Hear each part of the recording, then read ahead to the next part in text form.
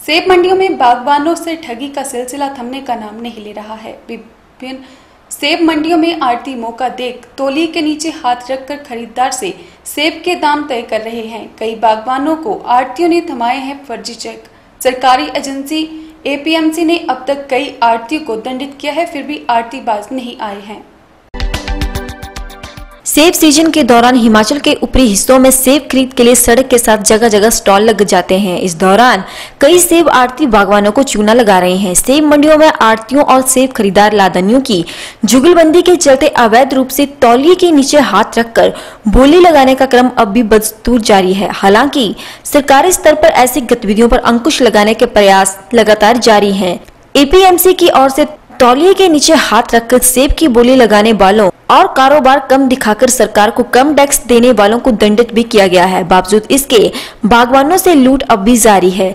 बागवानों को आरती सेब लेने के बाद चेक थमा रहे हैं, लेकिन जब बागवान बैंक पहुँच रहे हैं तो कई चेक फर्जी पाए गए हैं। ऐसे में सेब बेचने के बाद पैसों के लिए बागवान दर दर की ठोकरें खाने पर मजबूर हैं। रामपुर के बागवान हरीश लकटू ने बताया कि हमारा सेब मंडियों में जा रहा है, लेकिन सेब के दाम मंडी में आरती और खरीदार लादानी तोलिए के नीचे अंगुलों के इशारे से तय कर रहे हैं। बागवान को पता ही नहीं चलता की उनके सेब का असल में दाम कितना तय हुआ है।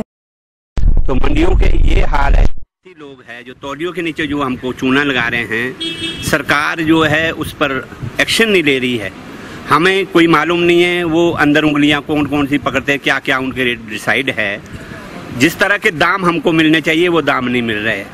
सरकार इन पर अंकुश लगाए, जितने भी आलथी लोग हैं, चाहे वो लोकल मंडियों के हैं, चाहे शिमला है, चाहे चंडीगढ़ है, चाहे दिल्ली है। और ये जो दिल्ली में तो कमीशनें खा रहे हैं दो परसेंट और इधर भी तो हम चाहते हैं कि बागवानों का शोषण ना हो, सरकार इस पर ध्यान दें। जो हमारी बागवानों की समस्या है, उसको अमल में लाएँ।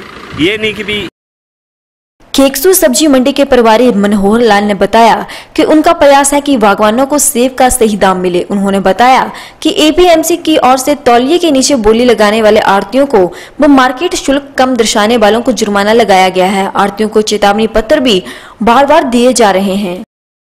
प्रयास किया कि ग्रोबरों के लिए अच्छी पेमेंट मिले और ग्रोबरों का सेब अच्छा मिले बिके। और उसके बारे में मैंने आरथियों को 21 सात उन्नीस को पहले लेटर 24 सात को दूसरा 25 सात को तीसरा 14 आठ को चौथा और 6 नौ को पांचवा लेटर दे चुका हूँ, जिसमें कि मैंने कम जो दर्शा रहे हैं मंडी शुल्क वगैरह, उनके उसके बारे में लिखा है, किराए के बारे में भी दे दिया है, और रुमाल के नीचे, जिन आर्थियों ने रुमाल के नीचे काम किया था, उनको पंद्रह पंद्रह हज़ार रुपये के दो आदमी को पेनल्टी लगा दी गई।